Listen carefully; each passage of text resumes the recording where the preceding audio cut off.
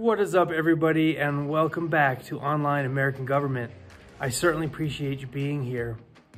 So this week, uh, there's no presentation, uh, there's no current event.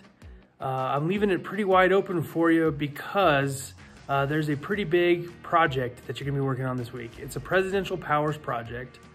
Um, and I uh, wanted to give you guys as much time this week to work on it uh, because I believe that it's really important for you to understand these powers. And I'm also hoping that you put in a lot of effort into this project. So this week, it's only your Presidential Powers project, which will be due on Friday, and uh, your weekly Do Now uh, discussion, vlog, and blogs. So the project is already posted. You can use your notes from last week and dive right into that. I hope you guys have a great week, and I will uh, see you later. Bye.